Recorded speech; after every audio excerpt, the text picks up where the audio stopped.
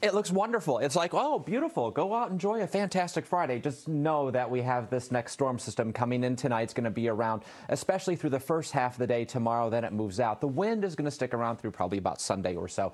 Uh, so it's going to be around for a little bit. Then we'll try to calm things back down, but we're also going to cool things back down. Yeah, it's going to feel more like winter. Bowden's fast moving storm system on the way for tonight, all the way through probably Saturday afternoon. It'll finally start to move out. Wind stays strong through Sunday, and it's certainly going to feel more like winter around here after we get through the day tomorrow. Here's temperatures right now across New England, a mix of uh, 20s and 30s to the north, 40s, even a few spots near 50 across central and southern parts of New England, so not doing too bad at all. In terms of the advisories, the more colors you see on this map, the more impactful the weather is certainly going to be. We have a flood watch in effect across the state, down, down into Connecticut and Rhode Island, back to the west, high wind warning, and there will likely be more colors added to this map as we get a better idea of the track of the storm system. Most of us are going to deal with rain, a burst of rain, around three quarters of an inch to maybe upwards of an inch and a half of rainfall on the way. Also, some strong winds, but right now it's clear, sunshine, nothing to worry about. So get out there and enjoy it. But you may want to do a little planning and prepping for this next storm system, especially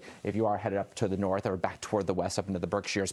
Here's what's uh, going on in terms of rain, some snow back to the west and south of us. You see the main slug of rain moving through the Ohio River Valley, upper level low hanging out back to the west. You see the snow from Omaha to about Chicago or so. So our chances for rain snow, mainly just rain for us right now, though. Talking about a good opportunity coming up on Saturday. It's going to be wet during the first half of the day. By Tuesday, cold enough, may have some snow showers back around here, and some of those could linger into Wednesday as well. So we've got a couple more storm systems on the way, but look at temperatures. Mid 40s today, upper 50s tomorrow.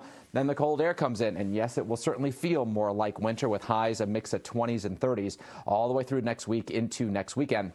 So here's what we have going on for the rest of the day today. Nothing to worry about. Sunshine, comfortable temperatures, low to mid 40s, even a few upper 40s possible here and there. Tonight, here come the clouds and here comes the rain. You can see some of the snow back to the west as well. Some of the higher elevations will certainly have a little bit of snow to contend with. By about 3 in the morning, main area of rainfall making its way into the Boston metro area. Wouldn't be surprised if you hear a rumble of thunder, see a flash or two of lightning with this as well. 30s to around 40 to start the day, and that whole area of rainfall by about 9 9 to noon is already making its way out, but strong southwest winds will still uh, be sticking around. We'll top out at a mix of 50s, mid to upper 50s in a few locations for Saturday. And then the cold front moves in, and we certainly get colder as we head towards Sunday morning. We're talking about upper 20s to around 30.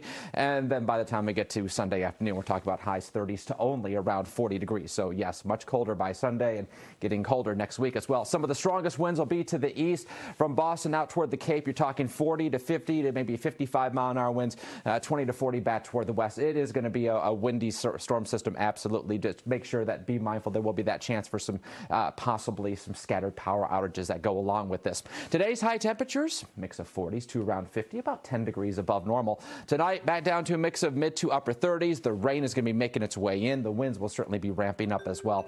Initially from the southeast, around 15 to 20 miles an hour. So a soggy Saturday, gusty winds all the way through Sunday, and as we head through early next week, look at the cooler weather 20s to around the freezing mark. Chance for a little bit of snow by the time we get to Tuesday, but definitely feeling more like winter next week.